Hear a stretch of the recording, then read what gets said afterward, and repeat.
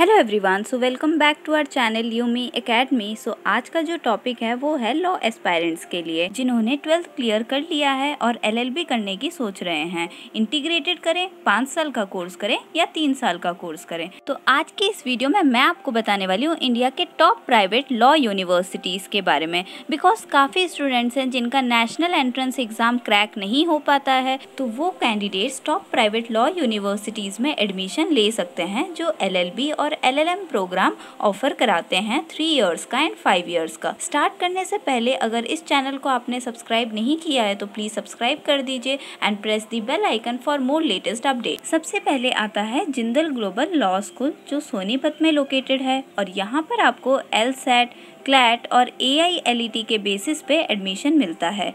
Second number पे आता है सिम्बायसिस लॉ स्कूल, जो पुणे में लोकेटेड है और ये खुद का एंट्रेंस एग्ज़ाम कंडक्ट कराते हैं, जो एस लॉ एग्ज़ाम के नाम से काफ़ी फ़ेमस है। थर्ड नंबर पे है आर्मी इंस्टीट्यूट ऑफ़ लॉ, जो मोहाली में लोकेटेड है और P U L L B के बेसिस पे एडमिशन देता है। फोर्थ नंबर पे है भारतीय विद्यापीठ डीम्ड यूनिवर्सिटी, जो पुणे में लोकेटेड है और A I L E T के बेसिस पे एडमिशन ले सकते हैं यहाँ पर आप। नेक्स्ट फिफ्थ नंबर पे है I C F A I law school जो हैदराबाद में लोकेटेड है और काफ़ी फ़ेमस कॉलेज है। क्लैट और एल सेट के बेसिस पे आप एडमिशन ले सकते हैं यहाँ पर। नेक्स्ट कॉलेज है एमिटी लॉ स्कूल जो नोएडा में लोकेटेड है और काफ़ी फ़ेमस कॉलेज है। और यहाँ पर आप आईपीयू और सीईटी e के बेसिस पे एडमिशन ले सकते हैं। देन नेक्स्ट कॉलेज है क्रिस्ट यूनिवर्सिटी जो बैंगलोर में लोकेटेड है और यहाँ आप क्लैट के बेसिस पे एडमिशन ले सकते हैं। लास्ट बट नॉट लिस्ट के I I T law school जो भुवनेश्वर में लोकेटेड है, जो क्लैट और स्लैट के बेसिस पे एडमिशन